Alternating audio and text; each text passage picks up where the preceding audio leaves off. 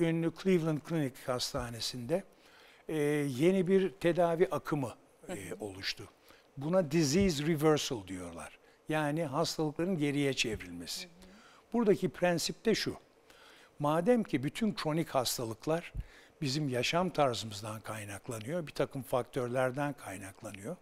O yaşam tarzını düzeltip o faktörleri ortadan kaldırdığınız zaman hastalık ilerlemesi durmuyor. Hastalığı geriye bile çevirmek mümkün.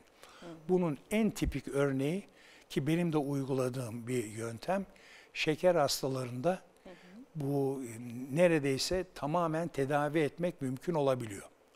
Şimdi ben kalp cerrahiyim. Niye bununla ilgilendim? Doğrusu şu. Kalp hastalıklarını tedavi edebilmek için şeker hastalığını tedavi etmek lazım.